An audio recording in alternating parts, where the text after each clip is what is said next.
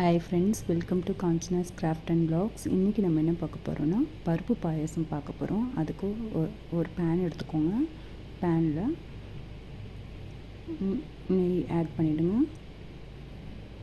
நெய் ஆட் பண்ணிவிட்டு ஒரு கப் வந்து பாசி பருப்பு எடுத்துருக்கேன். அதை வந்து நல்லா வறுத்துக்கோங்க. நல்லா செவிடுற மாதிரி வறுத்துக்கோங்க. நல்லா வறுத்து வறுத்துட்டு அது வறுப்படுற நேரத்தில் நம்ம வந்து ஒரு ரெண்டு ஸ்பூன் வந்து பச்சரிசி எடுத்துக்கிறோம். அதை வந்து ஒரு கப்பில் தண்ணி ஊற்றி ஊற வச்சுருங்க. பருப்பு நல்லா வறுத்துச்சு வறுந்துச்சு பாருங்கள்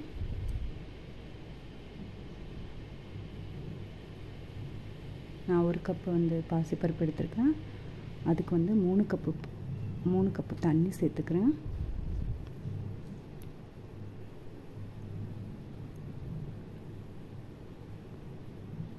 மூணு கப் ஆட் பண்ணிக்கோங்க.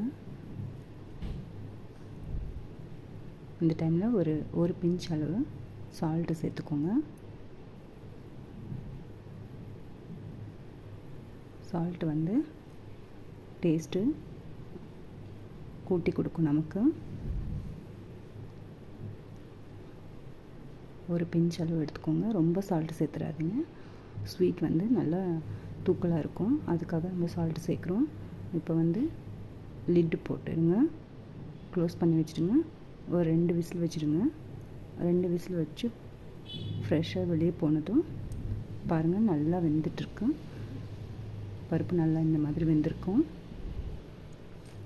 இந்த டைமில் நான் வந்து வேறு பேனில் வந்து பெரிய பேனில் இந்த பருப்பை ஆட் பண்ணிவிட்டு நம்ம வந்து அரிசி ஆல்ரெடி வந்து ஒரு ஸ்பூன் அரிசி வந்து ஊற வச்சுருக்கோம். நீங்கள் அரிசி மாவு இருந்தால் கூட தண்ணியில் கரைச்சி சேர்த்துக்கலாம்.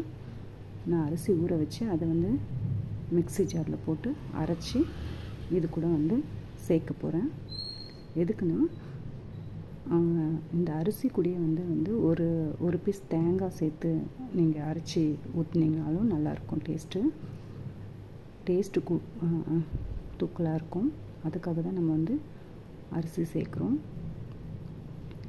கொஞ்சம் திக்னஸும் இருக்கும். பருப்பு பாயசத்துக்கு வந்து கொஞ்சம் திக்காகவும் இருக்கும். அதுக்காக தான் இந்த பச்சரிசி வந்து நம்ம சேர்க்குறோம். டேஸ்ட்டும் நல்லாயிருக்கும். இந்த மாதிரி அரைச்சி எடுத்துக்கோங்க. நல்லா கலந்து விட்டுக்கோங்க. அடி பிடிச்சிரும். அடி பிடிக்காமல் நல்லா கலந்து விட்டுக்கோங்க. நல்லா கலந்து விட்டுட்டு கொஞ்சம் ரெண்டு ரெண்டு கொதி வர வரைக்கும் வேக விடுங்க. அது பச்சை வாசனை போன பிறகு நம்ம வந்து வெல்லம் சேர்க்க போகிறோம் வெல்லம் வந்து ரெண்டு கப்பு சேர்த்துக்கோங்க. அரிசி நல்லா வெந்துடணும். இது கூட தேங்காயும் நீங்கள் அரைச்சி விட்டிங்கன்னா இன்னும் நல்லா டேஸ்ட்டாக இருக்கும். இப்போ நான் வெல்லம் சேர்த்துட்டேன். வெல்லம் சேர்த்து நல்லா வேகட்டும். நல்லா தொழில் விட்டுட்டே இருங்க. இப்போ வந்து ஏலக்காய் ரெண்டு ஸ்பூன் சேர்த்துருங்க. பவுடர் ஏலக்காய் தான் நான் பவுட்ரு பண்ணி வச்சுருக்கேன். இப்போ வந்து முந்திரி திராட்சை வந்து ஆல்ரெடி நான் நெய்யில் வறுத்து எடுத்து வச்சுருக்கேன். அதையும் சேர்த்துருங்க.